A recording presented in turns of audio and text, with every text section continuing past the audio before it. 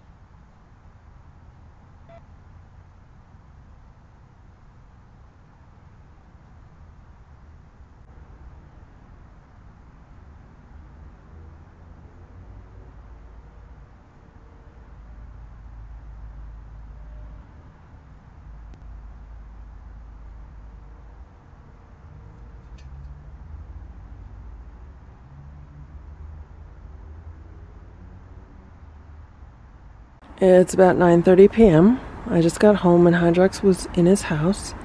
But when he saw me, he came out of his house and he's been meowing at me ever since. I put a full can of Trader Joe's uh, ocean whitefish uh, pate in this food bowl. And then I put a can of the turkey and giblets mixed up with some water in the heated kitty cafe. So Hydrox has two cans of food to eat. And this is where Hydrox is right now. He's hanging out under the house. He should go eat. This is what he normally does. He'll like, uh, he'll meow for food, and then I'll go inside, and then I'll go check out the food, and he'll go eat it. So uh, he could also just be yelling at me because I haven't been home for a few days. Sometimes he likes to do that. And uh, yeah, thankfully it's not terribly cold out right now. I feel like maybe it's around 45 degrees. Let's go inside and let's look at the thermometer. The top two numbers are the outside temperature sensors, so yeah, it's just about 45 degrees out. Okay, let's see what happened to the automatic feeders. So this is Boo's automatic feeder. Did he eat everything? And look at this, he did not finish his crunchies or his freeze-dried raw food. That is crazy. I've never seen Boo not finish crunchies, but it might be because of the other crunchy feeder. Or it might be then he went downstairs and ate some food down there. Let's go downstairs and look at the other feeders. All the raw food is gone, so that is great. Okay, let's take a look at the downstairs feeders. This one is empty except for some crunchies. Excellent. Let's take a look at this one. Oh my gosh, look at that. This is like not even touched. The crunchies are still here, the freeze-dried bites are here, and even this Webox treat is all still there. Nobody touched it. And let's take a look at this one. And this one is empty except for some crunchies. The cats did a really great job, and it's so weird about that middle feeder. And I know they're working correctly because all the other uh, meals in this feeder dispensed properly. So this is definitely a meal that was dispensed. It's just strange that nobody ate it. So here's Boo. Boo greeted me at the back door when I came home. Boo's very happy that I'm home. This is the pizza tray that's by the automatic feeder and I just moved it back toward the automatic feeder. So when I got home, it was like way over here and I saw that on the security cameras. Like I checked in a few times on the security cameras and I noticed that they really moved it. So um, it's not exactly the lightest tray, so it definitely took a good bit of force to move this. Um, I'm assuming some crunchies came out and the cats wanted to get underneath the tray or something and they, they did a good job of moving it. And here's Stella. Stella greeted me in the kitchen when I got home. Here's Simba and he's kind of afraid of me right now. He's been hiding from me. When I got home, he was under my bed. So I don't know what happened between him and Boo or him and whoever. But uh, yeah, he's a bit out of sorts right now. He's kind of scared. I don't know why. I just gave the cat some canned food. They're having a can of Trader Joe's turkey and giblets split four ways with just a little bit of crunchies on top and some water mixed in. I wanted to give them something that I know they like because uh, they're probably hungry. Uh, the automatic feeders fed them breakfast today and then they had some crunchies out of the crunchy feeder. And then there's nothing in the other automatic feeder tonight because it only holds four meals, really. Um, so this is their dinner now. They might have been upset about the fact that the feeders went off and there was no food in them, but it's how it is. All of the litter boxes have just been scooped out and so I was away for a total of about 56 hours, maybe 57 hours, a little bit more than 48 hours. And the litter boxes were really full. And I did top them off with a lot of litter before I left. So there's four cats here, and there are four litter boxes two downstairs, two upstairs, and they were all pretty full.